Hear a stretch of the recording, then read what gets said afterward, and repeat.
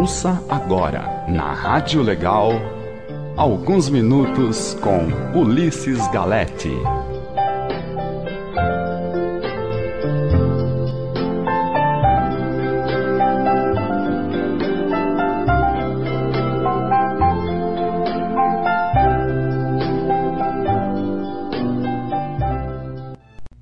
Obediência ou rebeldia de Max Ganninger. Toda empresa tem aquele grupinho de funcionários contestadores e meio voluntários. Eles parecem nunca estar satisfeitos com nada, vivem criticando decisões que a diretoria toma, gostariam que não houvesse tanta burocracia e, principalmente, querem ter liberdade para pensar. De modo geral, as empresas rotulam pessoas assim com palavras pouco elogiosas, desestabilizadoras do ambiente de trabalho ou simplesmente terroristas. No início da minha carreira, tinha mais ou menos esse perfil.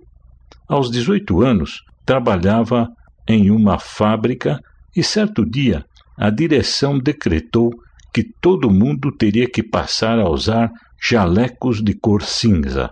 A hierarquia seria diferenciada pela cor da gola dos jalecos. Chefes teriam gola azul, supervisores gola verde e assim por diante, até que os mais humildes que teriam gola cor de abóbora. Bastou uma semana para que a nova moda virasse um festival de vaidades e os mais humildes fossem apelidados de abobrinhas. Como representante da classe dos abobrinhas, pendurei no quadro de avisos da fábrica um papel com a seguinte frase: Se a cor do colarinho fosse sinal de prestígio, o palhaço seria dono do circo.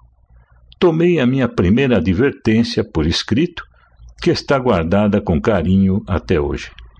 Muitos anos depois, aquela empresa fez uma festa para comemorar seus 50 anos de existência e vários ex-funcionários foram convidados, inclusive eu. Para minha surpresa, recebi uma homenagem. Fiquei ainda mais surpreso quando descobri que outras pessoas que haviam sido homenageadas eram exatamente aquelas que a empresa não via com bons olhos em tempos passados. Os terroristas que estavam sempre ameaçados de ir para a rua se não se comportassem. Agora, essa gente era classificada como criativa e inovadora.